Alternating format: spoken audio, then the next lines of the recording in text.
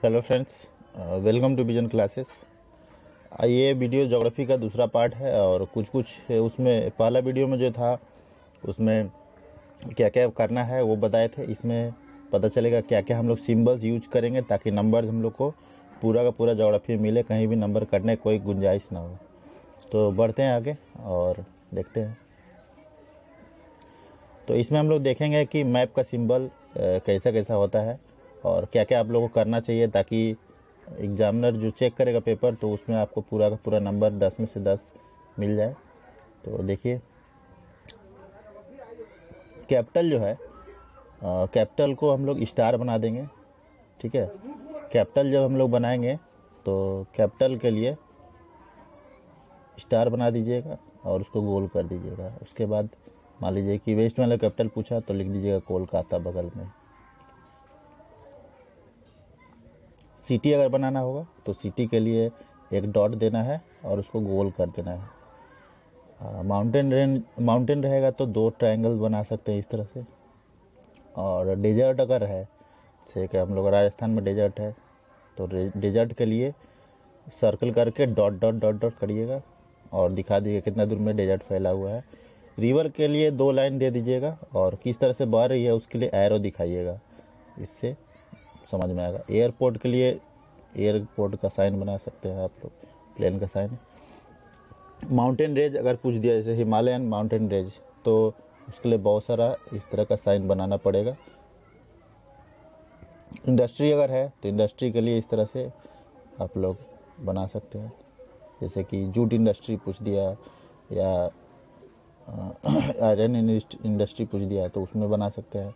Mountain peak अगर पूछा जैसे हिमालय है, एवरेस्ट पूछ सकता है तो एवरेस्ट के लिए ट्रायंगल बना के इसको डार्क कर दीजिएगा, और बगल में नाम लिख दीजिएगा एवरेस्ट। फिर है डैम डैम पूछ सकता है तो डैम के लिए लाइन खींच के उल्टा इस तरह से बना सकते हैं।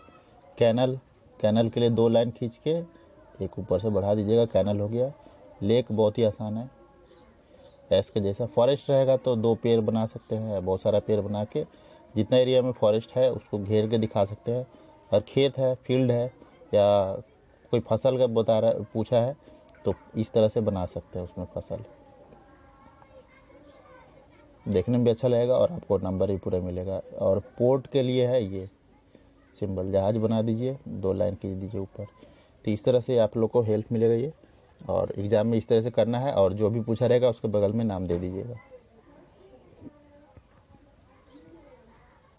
तो पिछले वीडियो में पोर्ट मैं देना भूल गया था तो इसमें दो टाइप का पोर्ट है। एक नेचुरल पोर्ट है और एक आर्टिफिशियल पोर्ट है। तो देखिए, जैसे पारादीप पोर्ट है, ये है नेचुरल और आर्टिफिशियल पोर्ट भी है। तो नेचुरल पोर्ट के लिए आप लोग पारादीप पूछ सकता है डायरेक्ट एग्ज़ाम में कि दो नेचुरल एक नेचुरल पोर्ट को दिखाइए बना के तो पारादीप ले सकते हैं उड़ीसा में है। यहाँ गोवा में है एक, एक मुंबई में है और यहाँ मुंद्रा पोर्ट बहुत फ़ेमस है कांडला पोर्ट जामनगर ये सब पोर्ट जो है सब गुजरात में तीनों। तो याद रखिएगा यहाँ से नाम पूछा जा सकता है। कोचिन है तुतिकोरिन है। इसके बाद चार जो है आर्टिफिशियल पोर्ट है। आर्टिफिशियल पोर्ट जिसको मतलब इंसानों ने बनाया है। तो आर्टिफिशियल पोर्ट भी पूछता है। अब इस साइड में हो गया ईस्ट इस साइड में हो गया वेस्ट और किनारा है तो इसलिए कोस्ट समुद्री किनारा कोस्ट बोलते हैं। ईस्ट कोस्ट और वेस्ट कोस्ट अगर पूछ दिया एग्ज़ाम में डायरेक्ट कि एक ईस्ट कोस्ट का आर्टिफिशियल पोर्ट का नाम बताइए, दिखाइए मैप में। तो इस तरह से डायरेक्ट विशाखापट्टनम ले सकते हैं आप या चेन्नई ले सकते हैं। तो कोई भी एक नाम ईस्ट कोस्ट में आप, ये एक है चेन्नई, एक है तूतीकोरिन तूतीकोरिन बहुत फ़ेमस है। तो सभी मैप सभी को प्रैक्टिस कर लीजिएगा ज़रूर। इसमें है फिजियोग्राफी ऑफ़ जोग्राफी है। नॉर्थन माउंटेन रीजन है कहाँ पे? नॉर्थन माउंटेन रीजन पड़ता है ये ऊपर में है। और यहाँ साइड में भी थोड़ा सा है नॉर्थ ईस्ट एरिया में। प्लेन्स ऑफ़ नॉर्थ इंडिया तो नॉर्थ इंडिया का प्लेन ये पूरा बहुत ही उपजाऊ फ़सल यहाँ पे होता है। आ, फिर है पेनिनसुला प्लेन टू ये प्लेटू वाला रीजन है, येलो जितना दिख रहा है ऑरेंज कोस्टल प्लेन डार्क में है और आइलैंड है। तो आइलैंड में भी यहाँ पे हम लोग का अंडमान निकोबार है यहाँ पे। और यहाँ पे है लक्षद्वीप तो इसको तैयार कर रखिएगा। यहाँ पे इंदिरा पॉइंट पूछता है एग्ज़ाम में और एट डिग्री चैनल पूछता है, सब ध्यान में रखिएगा। अच्छा इस मैप में जितना भी माउंटेन रेंज है सबको बढ़िया से दिखाया गया है। तो आप लोग इसको तैयार कर सकते हैं। नाम के साथ दिया गया है। जैसे यहाँ पीर पंजाल है आ, ये क्या है? धौलाधार। कुमायूं है उतना इम्पोर्टेंट नहीं है। गारो खासे कर सकते हैं नागा पहाड़िया कर सकते हैं यहाँ पे। नाम चावड़ा पूछ सकता है। इधर है नंदा देवी धौलागिरी एवरेस्ट है यहाँ पे। मैकालू है। एवरेस्ट याद रखिएगा ये इंडिया में नहीं है ये नेपाल में है। दुनिया का सबसे ऊँची चोटी है, लेकिन ये नेपाल में है और कंचनजंगा जो है, इसको केटू भी बोलते हैं। ये इंडिया में है तो इसको याद रखिएगा। ग्रेट नॉर्थन प्लेन है ये।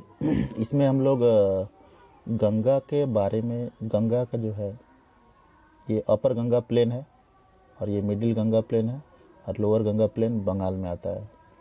तो ये ध्यान में रखिएगा।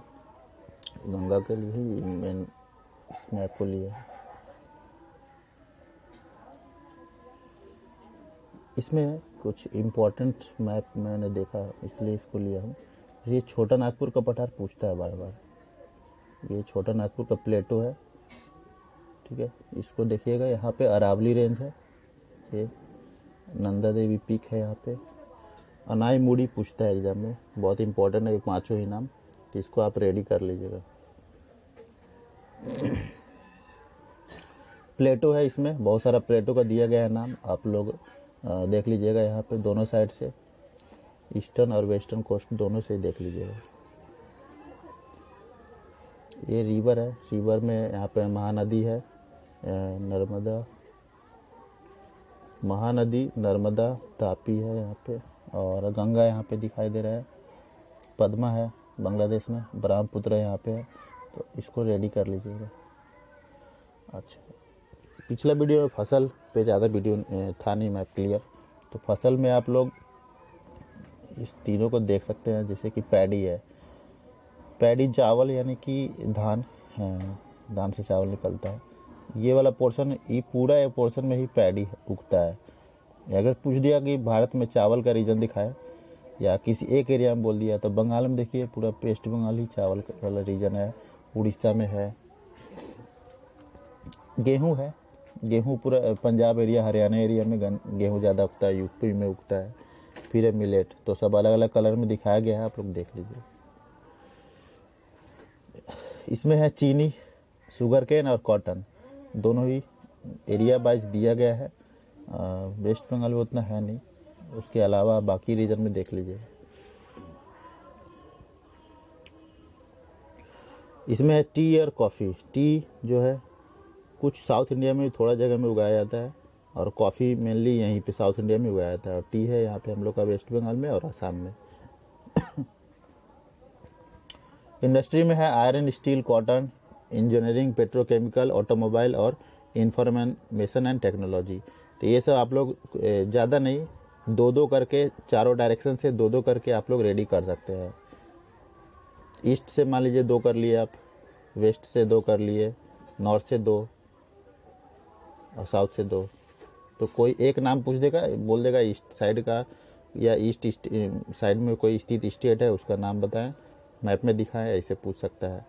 तो आप लोग को वीडियो कैसा लगा, आप लोग को कमेंट करके बताएँगे और आशा कर तो आप लोग मैप में दस में से दस लाएँगे। और आप लोग वीडियो ज़्यादा ज़्यादा शेयर करें, कमेंट करें। थैंक